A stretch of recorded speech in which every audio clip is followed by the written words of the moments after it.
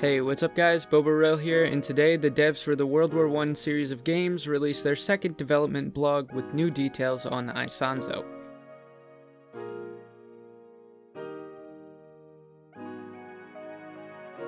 So, a quick disclaimer about this, there's only a small bit of upcoming content talked about in this article, and that's the Carcano Cavalry Carbine, which was left as a guessing game at the end of the post, but its signature underbarrel made it a pretty quick and easy guess. Everything else in this video is simply talking in greater detail about some things we already know about, as well as me showing off some new screenshots and talking a little bit about them. So here are some of those screenshots, and I actually believe this is just a different angle from a trench we saw in the last post, but the caption that came with this one dove into the importance of the small details, and in particular the terrain and the rocks. The landscape of this region of Italy is incredibly unique, and I touched on this a little bit in the last video as well, but these rocks that line the mountainsides of San Michele played a significant role in the actual battle due to their tendency to fragment in artillery barrages as well as their impairment to soldier movement. When you're talking about something that was so integral to the way that the real battle played out, if you're aiming for authenticity from a development standpoint, you really need to look at how these rocks will both affect the gameplay and the atmosphere of the game.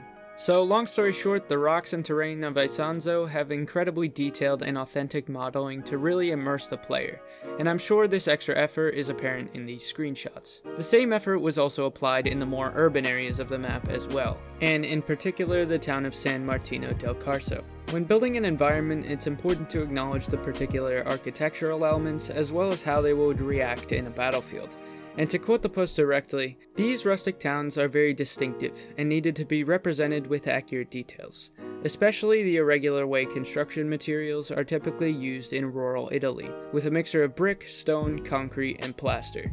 So as you can see with these images, it's like these buildings are being realistically peeled away, and you can identify each individual building material of the town. And this is where the utilization of next-gen hardware really comes into play.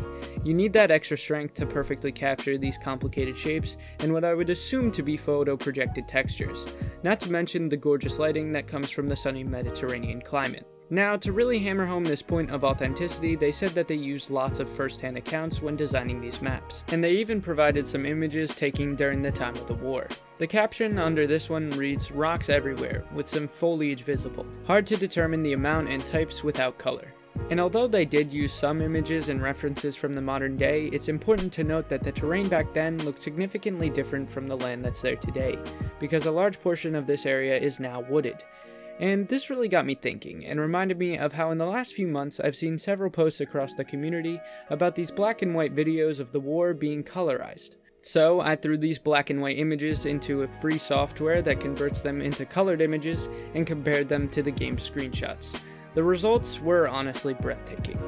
These developers have managed to create a perfect time capsule down to the individual stones in a building, and after seeing this post, it has me incredibly excited to play this game for its attention to detail.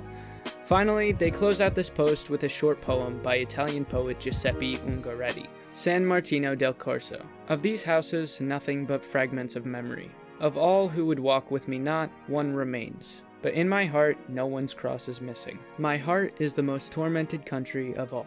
Anyways, that's all I've got for you guys today. I hope you all enjoyed this video. If you did, make sure to leave a like and subscribe. I really appreciate it. This has been Boborail, and I'll catch you all in the next one.